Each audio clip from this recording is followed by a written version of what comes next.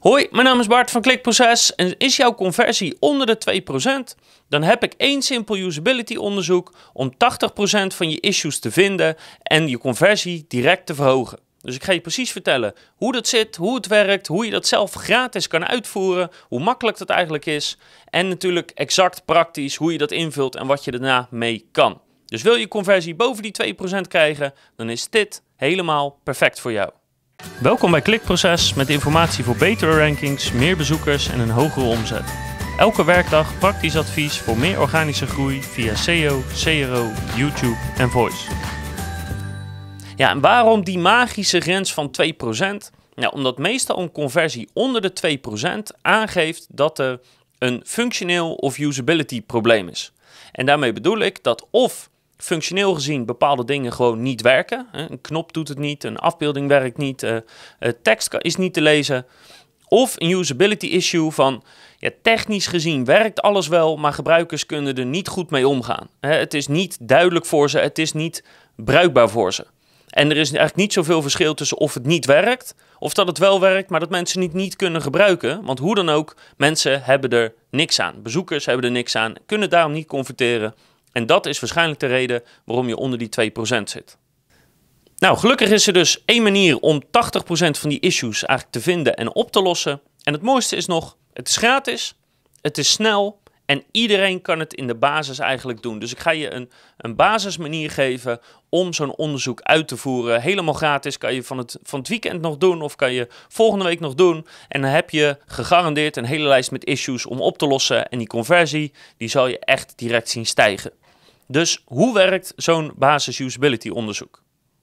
Nou, het eerste is dat je moet gaan bedenken of moet gaan uitzoeken wat wil je optimaliseren. Dus heb je een bepaalde pagina of pagina's of producten of productgroepen of weet je, waar is die conversie zo laag en wat je, wat je misschien niet verwacht en wat wil je precies gaan verbeteren? Dat moet je eerst even gaan bepalen. En uh, als ik eerlijk ben, als je enigszins uh, vaak in Analytics zit of in een ander analytisch programma, dan weet je wel welke pagina's uh, lager presteren dan je denkt. Dus dat moet je even helder voor jezelf hebben. Maar als het goed is, is dat zo gebeurd. Wat gaan we onderzoeken? En dan ga je tussen de vijf en acht mensen uitnodigen om daar een test over te draaien. En dan zou je zeggen, waarom vijf tot acht mensen? Dat is wel heel erg weinig, is het niet?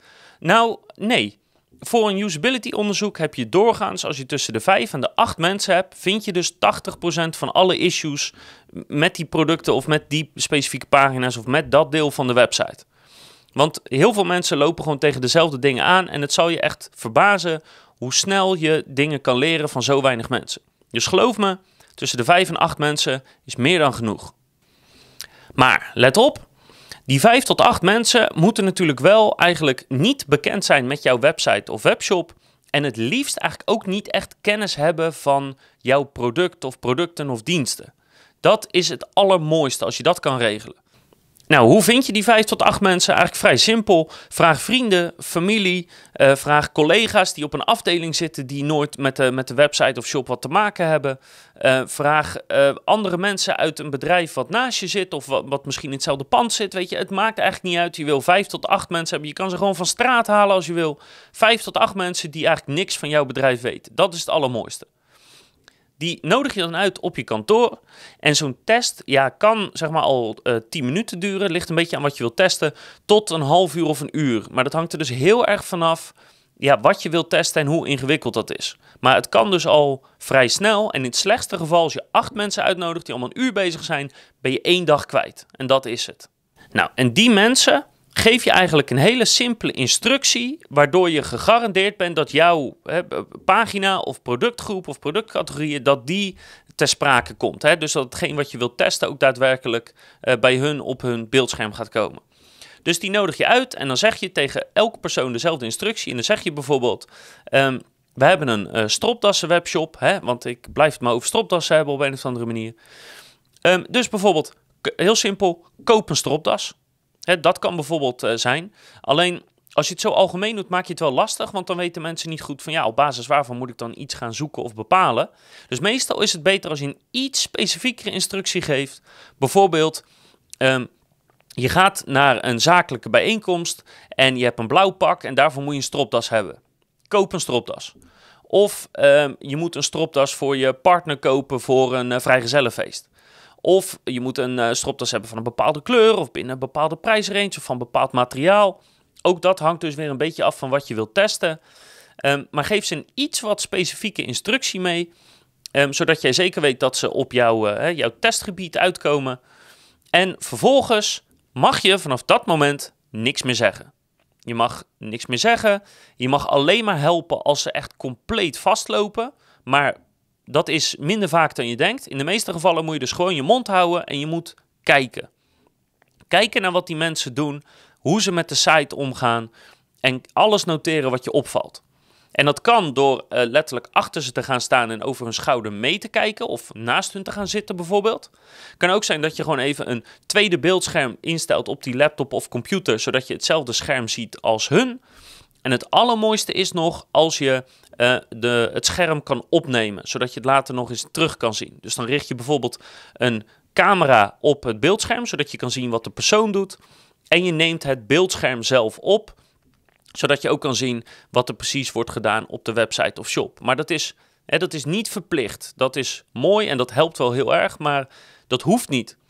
Door alleen al een tweede beeldscherm aan te sluiten en gewoon letterlijk mee te kijken met hoe iemand beweegt, wat hij doet, wat hij aanklikt, wat hij niet aanklikt, wat hij leest, daar ga je al ontzettend veel van leren. Echt, geloof me, als je dit nog nooit gedaan hebt, dan gaat een wereld voor je open. En je zal merken dat één, in het begin heb je vooral de neiging om te gaan helpen. Om, om te zeggen, hey, je, moet daar, je moet daar klikken of dat. Maar dat mag dus absoluut niet. Hè? Jouw taak is om te observeren, niet om te helpen. En het tweede, vrijwel gegarandeerd dat dit gaat gebeuren, is bij de eerste testpersoon die komt, denk je, nou, die man of vrouw, die is gek. Weet je, die snapt het echt niet. Wat, een clown. En dan lig je helemaal in een deuk. Bij de tweede, dan denk je van, nou, weet je, dit wordt een stuk beter. Maar dat is niet zo. En bij de tweede denk je, hey, die doet eigenlijk best wel veel van dezelfde dingen als de vorige bezoeker. En vanaf de derde testpersoon, dan zal je waarschijnlijk niet meer lachen en dan zal je beginnen te denken van, ja, dit is dus daadwerkelijk hoe mensen mijn site of shop gebruiken. Dus er zitten serieuze fouten in die site of shop. Want hoe ik het bedoeld heb of hoe ik het bedacht heb, is helemaal niet hoe mensen het snappen en gebruiken. En vanaf die derde persoon zal je echt gaan zien dat er issues zitten in je website of shop. Gegarandeerd, echt gegarandeerd. Dan gaat een wereld voor je open. En als je eenmaal klaar bent met die vijf of die acht, dan heb je zo'n gigantische lijst met kleine en grote issues die verbeterd moeten worden. Dat als dat je conversie niet helpt, ja, dan weet ik het ook niet meer. Dus heel simpel, is je conversie onder de 2%, haal tussen de 5 of 8 mensen in je kantoor, geef ze een simpele instructie, hou je mond, observeer en kijk wat ze doen. En als het enigszins kan, neem het op, zodat je het nog een keer terug kan zien. En echt gegarandeerd dat je heel veel issues gaat vinden, soms hele simpele dingen die met een paar minuten al zijn opgelost. Dus doe dat dan vervolgens en je zal je conversie heel erg snel omhoog zien gaan. En als kleine bonus tip kan ik je nog meegeven dat je altijd, als iemand klaar is met het geheel, dat je nog specifieke vragen kan stellen van, hey, ik zag dat je dit deed of daar klikte of dit wel of niet hebt gedaan, uh, waarom? Dat kan je altijd achteraf nog doen, maar weet dat het gedrag van iemand bestuderen bijna altijd beter is dan uh, wat iemand zegt, want soms kunnen mensen dingen voor zichzelf goed praten. Ik zou zeggen, ga dit alsjeblieft doen, dan gaat de wereld voor je open. Heel veel succes ermee, ik hoop dat je conversie heel hard stijgt en ik hoop dat je de volgende keer weer kijkt luistert of leest, want dan heb ik nog veel meer advies voor je op het gebied van SEO, conversieoptimalisatie, YouTube en voice.